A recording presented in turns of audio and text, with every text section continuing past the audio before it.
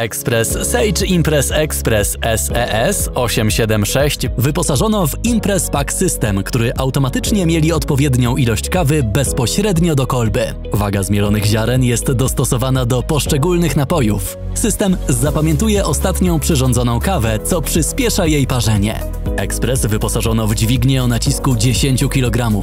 W trakcie używania obraca się ona o 7 stopni, idealnie ubijając zmieloną kawę. Wbudowany wskaźnik pokazuje ciśnienie, pod którym parzona jest kawa. Wstępna preinfuzja odbywa się pod niskim ciśnieniem, po czym następuje ekstrakcja pod ciśnieniem wynoszącym 9 barów. Ekspres wyposażono w młynek stożkowy. Znajdujące się w nim żarna zmielą wszystkie ziarna kawy, tak by pasowało do każdego rodzaju naparu.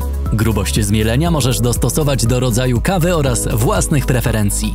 W ekspresie dostępnych jest 25 ustawień grubości mielenia. Dysza spieniająca mleko używa wysokiego ciśnienia i pary o temperaturze 130 stopni Celsjusza. Gwarantuje ona idealną mleczną piankę za każdym razem. Jeśli poszukujesz ekspresu, który pozwoli Ci parzyć wiele rodzajów kaw i obudzi w Tobie baristę, ten model spełni Twoje oczekiwania. Po więcej informacji wejdź na stronę euro.com.pl.